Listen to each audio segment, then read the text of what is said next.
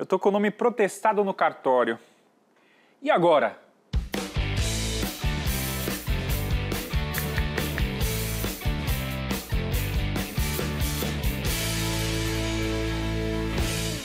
Quando alguém vem pedir dinheiro emprestado pra gente, ficamos contando os dias para que ele pague de volta e queremos fazer de tudo para retomar o valor, certo? Protesto em cartório é mais ou menos isso. Ele acontece quando uma empresa ou uma pessoa já não sabem o que fazer para receber o valor de uma dívida, então tomam uma atitude mais séria, que pode atrapalhar bastante a vida da pessoa que está devendo. Ter o nome protestado é uma grande dor de cabeça, pois essa situação traz restrições financeiras, como dificuldade de ter novos empréstimos ou cartões aprovados, complicações na hora de fazer a compra e venda de imóveis, bloqueios bancários, participação de concursos públicos e diminuição do score. Não aguento, eu não aguento, eu não aguento, eu não aguento! Mas afinal, Será que você tem algum protesto no seu nome? Para descobrir isso, basta continuar nesse vídeo comigo. Eu sou o Mário aqui da Cor do Certo e hoje vou te ensinar a consultar protesto de forma online e se livrar dessa pendência na sua vida. Limpa, limpa.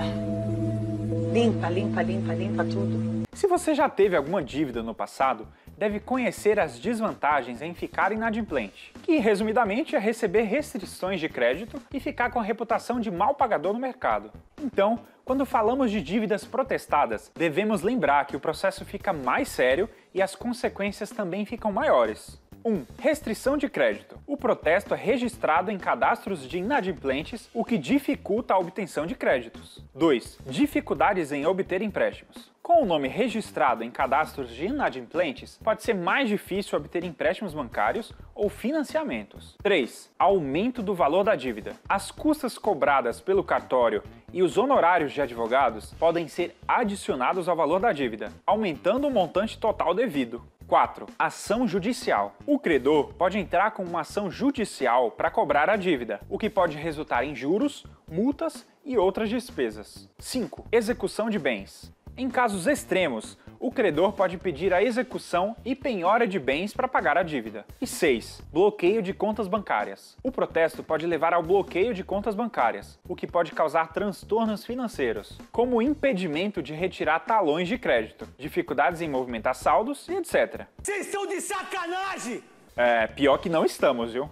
E como saber se tem protesto no meu nome? Se você tem contas atrasadas e está com medo de receber uma cobrança mais séria do seu credor, o melhor caminho é consultar nome em protesto na internet de forma gratuita no site da Central Nacional de Protesto, ou SEMPROT. Para consultar protesto, basta digitar seu CPF no site, clicar em consultar, depois não sou um robô e conferir os resultados da pesquisa. Caso o resultado seja não constam protestos nos cartórios participantes do Brasil, então você está livre de protesto em cartório no seu nome. Mas se o sistema sinalizar outra mensagem, então existe um débito pendente no seu CPF já protestado.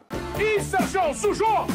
Já fez a consulta de protesto, descobriu que não tem nenhum aberto, mas acha que mesmo assim existem dívidas pendentes no seu nome? Então, é só fazer uma consulta do seu CPF no site da Cor do Certo. Nessa consulta, você confere se existem pendências no seu nome, descobre se tem dívidas negativando seu CPF e ainda pode escolher a oportunidade de negociação que cabe no seu bolso com até 99% de desconto.